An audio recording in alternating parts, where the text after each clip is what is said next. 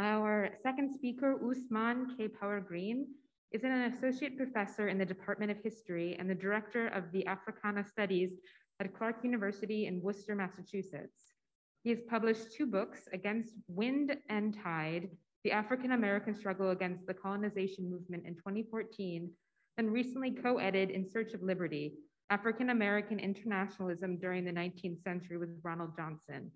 In the fall 2022, the Other Press will publish his first novel, The Confessions of Matthew Strong, which allows, uh, which follows Ali Douglas, a Black philosophy professor who foils a white supremacist plot orchestrated by Matthew Strong, a composite of various white supremacist ideologues over the past century. His presentation today is based on over a decade of research into the ways white supremacist ideologues distort history in order to legitimize their movements. His work has appeared in numerous journals, including, but not limited to, a special issue on Black America in the German Journal on Politics and Contemporary History, Critical Studies in Media Communication, and Revue Française d'études américaines. He has received a number of honors and awards for his research, including the National Endowment for the Humanities and the Gilder Lehrman Fellowship in American History. Additionally, Dr. Power Greene has appeared on podcasts, radio, and television. Today, his presentation is titled Stop Killer Cops, Death to the Klan, Black Activists Fight Racism and Fascism in the 1970s. Thank you. Let's all welcome Dr. Power Greene.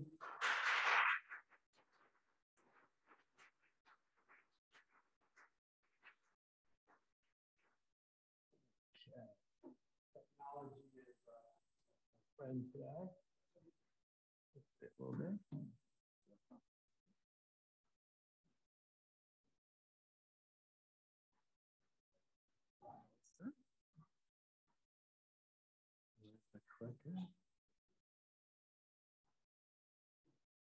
Look at that. That was the smoothest my trip has been. Hello, everybody. um, thank you for that wonderful introduction, Mary Jane, and for the wonderful papers. Um, I think I should stand in front of the mic.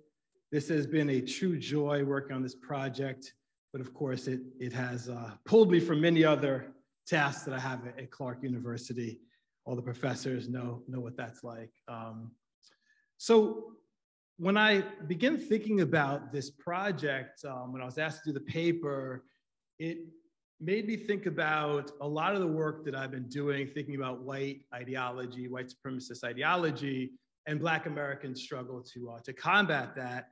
Um, and so in an ambitious moment, I chose to, to look specifically at the questions of police violence uh, as understood by Black activists in the 70s. Um, and my eyes were focused on the John Brown uh, Anti-Klan Committee.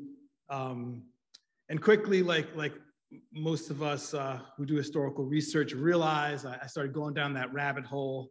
And next thing you know, I'm learning all sorts of new things, um, but one of which I'm going to be able to, to sort of do as uh, Professor Murch mentioned, and look more narrowly and specifically uh, at Black organizing in Eastern Correctional Facility in New York, and really think about anti-Klan activism in New York, a much neglected uh, topic, despite me scouring everywhere to find some more secondary sources on this, besides one great book. Um, but I want to just start with the personal for a second. Last year, um, I was involved uh, with a um, an, an, edited collection on fascism. I was asked to write about Black uh, activism against fascism. And right around the time I was going to present, several things happened. One, the insurrection happened, literally like the day before, two days before. Uh, and second, my daughter's middle school was hit with this right up here.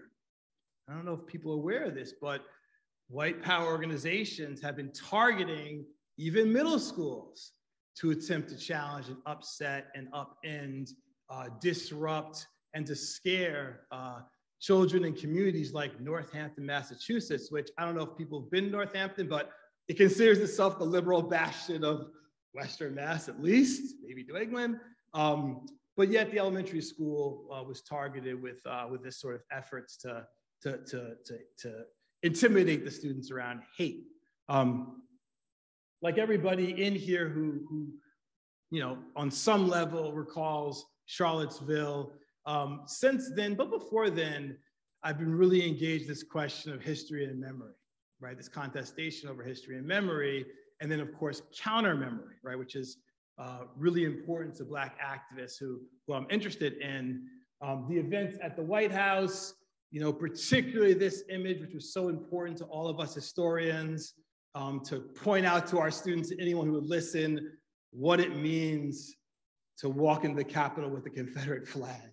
Like, like just like in terms of what people thought would ever happen, like this would not be one, right? It's such a major sort of moment. Um, but there were those before that event um, who spoke about this, and that's where I'm going to start uh, in terms of my paper, right? Near to home, but also one of the uh, true inspirations for me and most people who do the work uh, that I do looking at social movements.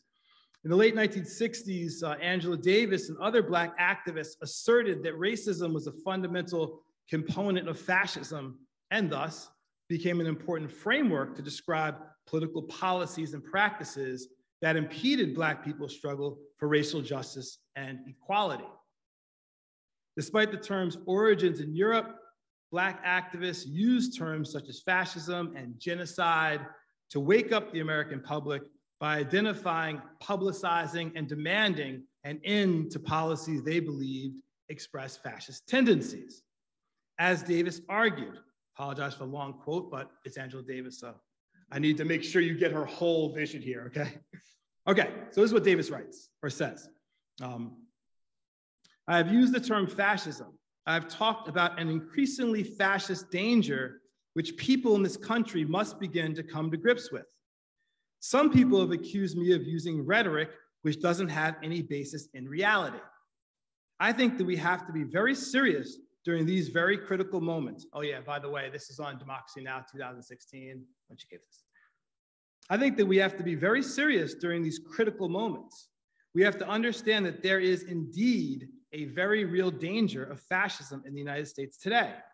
I do not think we have entered into a period of full blown fascism because fascism is not something that suddenly explodes and erupts into being. If we look back into the history of the world, as we look at countries like Germany, Spain, Italy, we see fascism, we see that fascism is the process. It is something that grows and develops. It is something like cancer. It starts attacking one group of people, but like a cancer, it begins to spread out with a fatal rapidity. And eventually, like a cancer, it destroys everything around it. Once fascism consolidates itself, I think, again, we have to look towards the past uh, and look at those countries where fascism did develop into its full, full-blown state. Once this happens, there's no possibility of resisting it and defeating it from within. Look what happened to Germany, look at Italy. It was always defeated from without. Central to Davis's claim is the erosion of core American constitutional protections for oppressed minorities, such as trial by jury or equal justice for the law. Though Davis' claim uh, had been based or based her claims on her own personal experience being hunted, jailed, and put on trial to bolster her claim uh, about, prison, about prisons as a central component to American fascism. Now, when state troopers invaded Attica Correctional uh, Facility in upstate New York, after inmates after inmates took charge and demanded changes, she extended this fascist framework within the context of American actions such as imperialism abroad.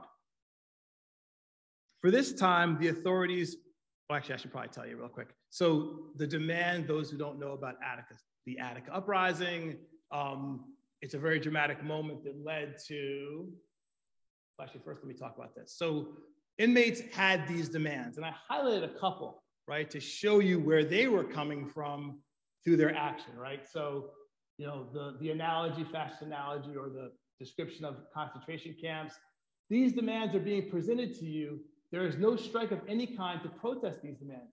We are trying to do this in a democratic fashion, right? So this petition went before, uh, before the insurrection. We feel there is no need to dramatize our demands, right? So, you know, this, you know, those that that study uh, uh, prison rights movements, you know, talk about the efforts before the event that happened. So, which in this case uh, would lead to uh, a, a, very violent uh, invasion, right? Which I want to talk about. So, uh, so for this time, the authorities who who were the, responsible for um, for sending in the state troopers um, were caught red-handed, according to Davis. They were publicly exposed they were publicly exposed when to justify that massacre, a massacre which, is, which had led to, uh, was, was led by Governor Rockefeller and agreed by the president. Davis believed that the invasion, massacre, and torture of inmates, and after sort of the police come in and shoot these people, and there's a series of like get stripping them naked and beating them and all sorts of stuff that fits exactly what Davis and others have been saying. Davis believed that the invasion, massacre, and torture of inmates, quote, was different from these other episodes in one very important respect. Nixon, when they hastened to falsify what had occurred, um, went and supported uh, the Rockefeller and others. These were not isolated aberrations, she wrote. They must be placed alongside Birmingham, Orangeburg, Jackson State, Kent State, My Lai, Malay, San Quentin, uh, and San Quentin Taking my, my cue from Davis, several questions sort of drive this exploration into anti-Klan activism. Um, I'm curious about the way these activists use an anti-fascist framework that emphasized the genocidal nature of the US government, government um, policies and practices and the ways in which that shaped Black Power, the Black Power movement's organizing in the 1970s. My paper considers the ways Black anti-Klan activism in Eastern Correctional Facility in, in I knew I was going to stumble over this word, even though I practiced it. Napanoch, Napanoch, New York, never been there. Uh, inspired white activists who joined the John Brown Anti-Klan Committee in the mid 70s to mobilize people against the Klan. Ultimately, this paper explores the contours of anti-Klan activism in the 70s within and outside prisons in New York, as I mentioned. So how did I arrive at this topic? Um, I was, my, so I'm gonna actually summarize this in terms of time, but my sort of original work that I was interested in was uh, comparative violence in South Africa and the American South. And so I studied in graduate school under a professor that was doing that work. Um, and so that was sort of my formative experience almost 20 years ago now. Um, and I've also been interested more recently in sort of the ways in which white power advocates distort history in order to galvanize supporters right? As well as Black activists' attempts to counter such misreadings with evidence that, contra uh, that contradicts these racialist claims. My work is interested in the role social movements play in educating the broader population about history and exposing the fallacies within popular national narratives that reinforce racial hierarchies and justify anti-democratic, anti-Black policies and practices. So the questions at the heart of my research on white power organizations such as the Klan uh, have certainly been explored by many prominent scholars, some of whom, uh, like Nancy MacLean, who are here for decades. Um, Professor MacLean, Linda Gordon, Steve Lay, and others um, have provided foundation upon which my history has been constructed. Also, historians of the Black Power movement, such as Heather Thompson and Donna Murch, and Ashley Farmer have provided crucial perspectives that move beyond narrow organizational histories to consider the monumental impact the Black Power movement had on students, prison, right act, prison rights activists, um, and also those sort of white activists who joined the, anti, the John Brown anti-Klan organization. Uh, so I'll talk about the FBI here for a second. So in order to sort of sketch out the John Brown Anti-Klan Committee and sort of their role, I just wanted to talk a bit about what I found very interesting doing my research in the FBI papers. Um, one thing I noticed, and I need to like go back, this was like shocking to me, so maybe people bring this up, was that the FBI's attention on the Ku Klux Klan, the South, in, the, in their papers, they have ends in 65. I was like, yeah, like it, it like there's like a file, oh, it's like 965. And then like that same year, this file on Black extremists picks right up. So it's almost like an end on Focus for the Klan in terms of COINTELPRO, right? This organization and program that was focused on sort of undermining, you know, you know, as, as he saw it, extreme hate groups, et cetera. But I was fascinated by that sort of delineation. Um, and so while the Klan obviously was under tremendous attention by the FBI, it's interesting this pivoting towards Black radicals uh, and seeing Black radicals as described by J. Edgar Hoover as the greatest threat to America.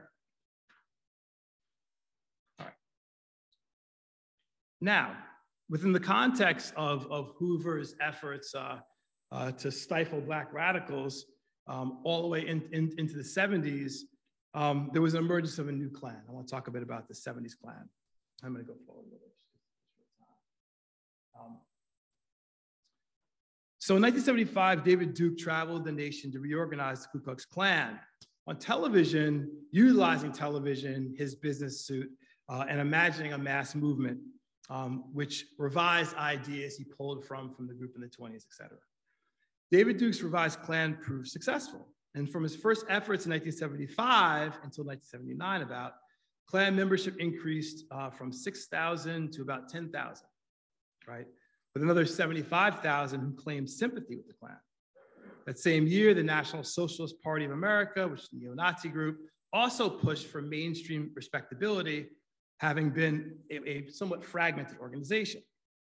The new push also included running for office uh, and, as I'm going to talk about, sort of working together with police.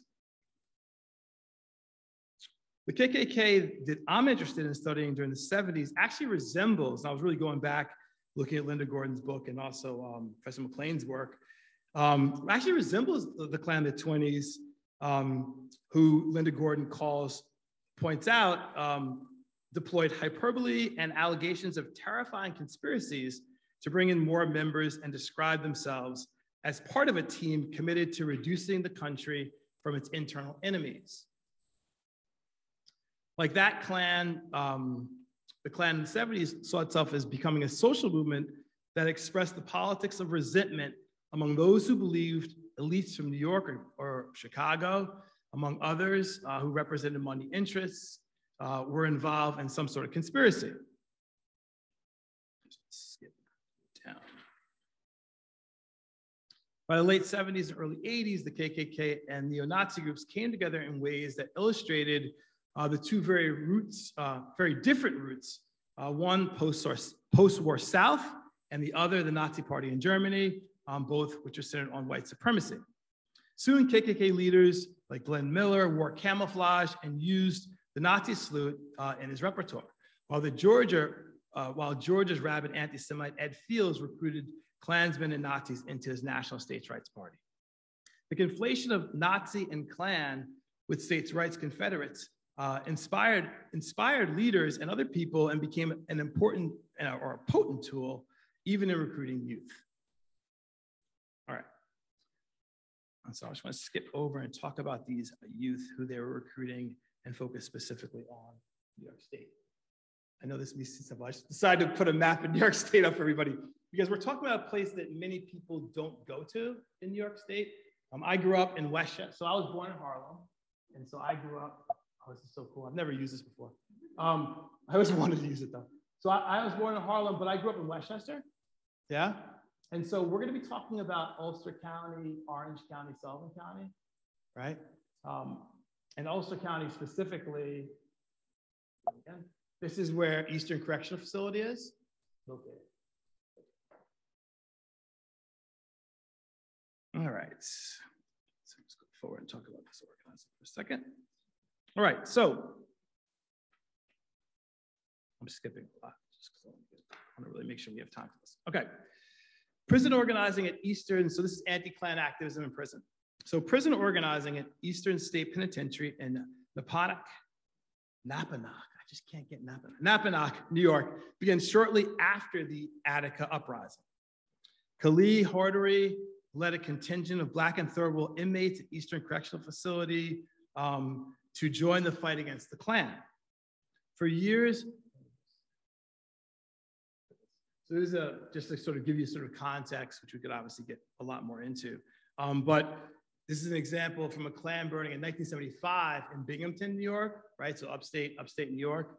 Um, and this is a series of sort of like newspaper clippings of like, you know, of various examples of the Klan in New York uh, that emerged. And this is one of the pictures on like the history of Eastern Correctional Facility that I thought I'd show you, right?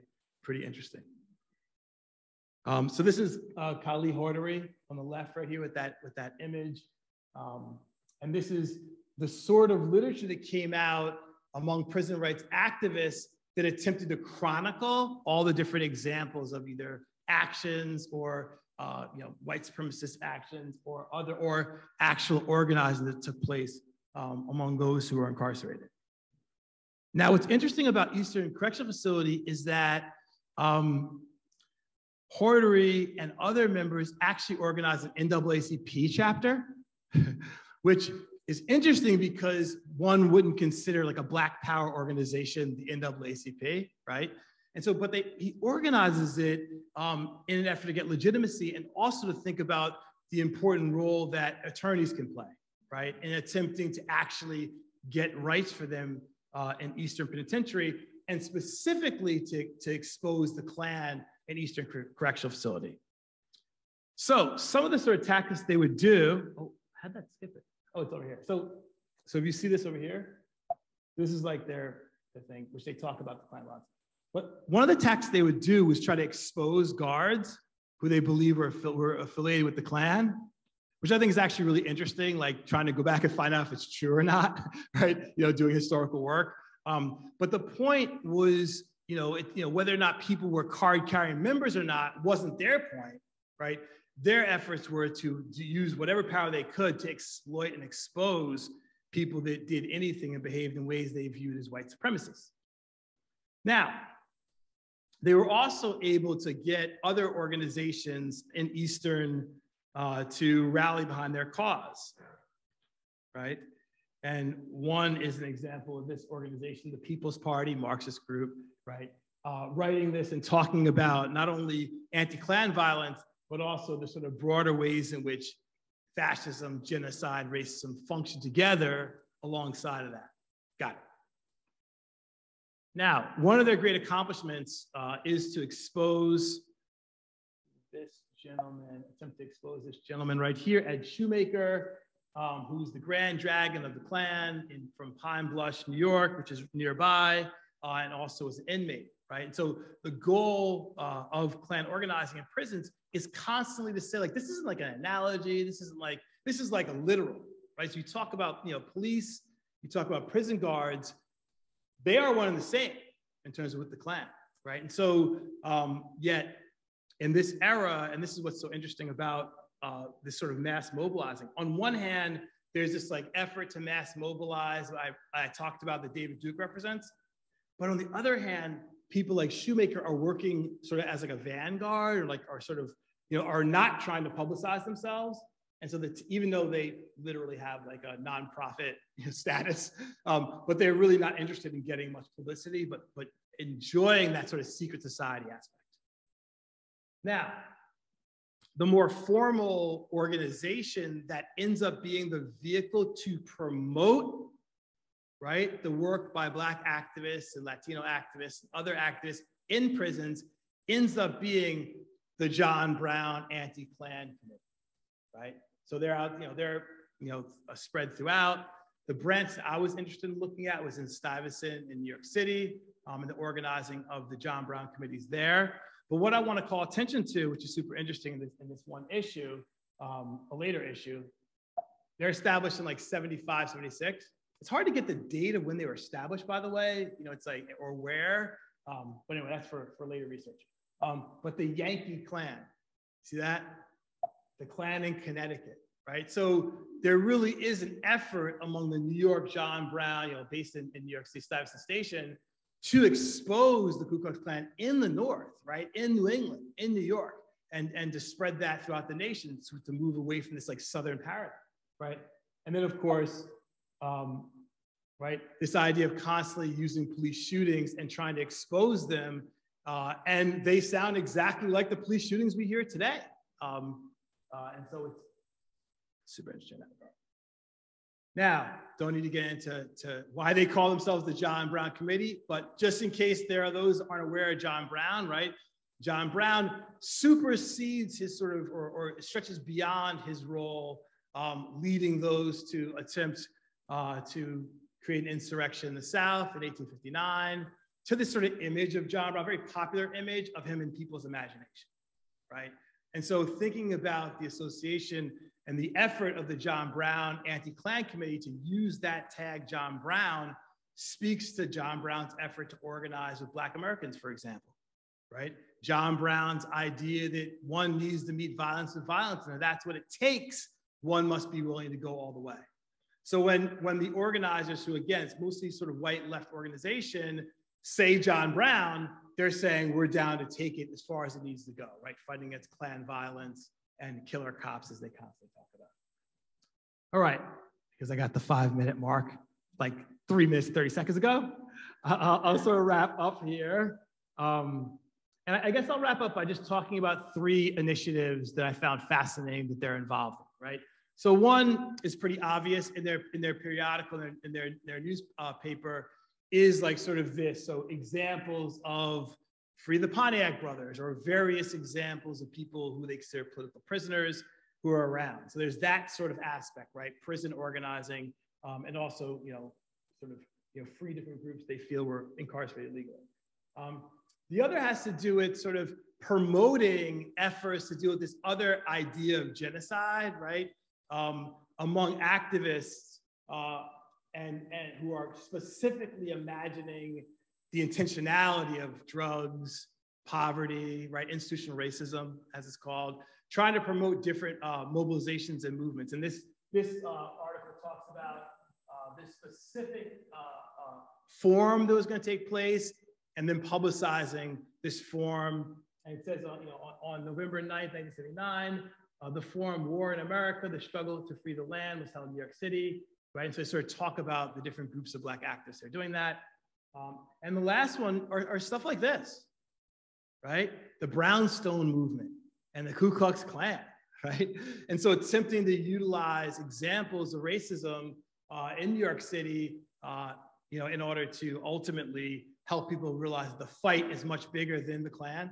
Thank you, right? The fight extends these other aspects. And that is actually my last slide, right? Which is the constant effort to reference the Civil War, history, memory in the struggle uh, to fight against the Klan and fight against broader examples of, uh, of, of, of racism and injustice. So with that, I will stop there. Thank you all for your attention.